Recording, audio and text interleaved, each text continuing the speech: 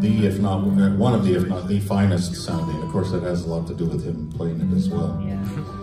Um, yeah. And I'll let him talk a little bit about it if he wants to, to tell the story of it and stuff. And then Patrick's going to play the 1935 D28. Um, there's very few herringbone D28s made. The early years were some of the best. This 35 has been played by a lot of professional players, and many of them have thought this is one of the, if not the finest sounding Martin D28 out there. So on stage now with these two guys, I hate to have to limit them to one song with these two, but we have probably the finest sounding Martin D28 from 1935, Brazilian rosewood sides and back, red spruce top. Very convincingly painted. Yeah. no grain painting on this one.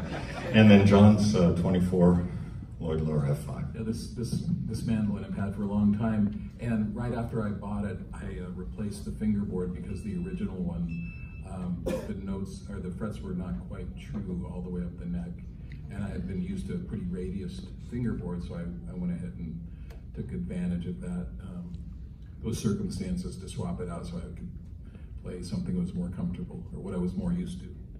So I think it may have. Um, a little bit to do with the kind of unique character of this because the board is a little thicker, so it makes more a bit more massive neck, but that's just a theory.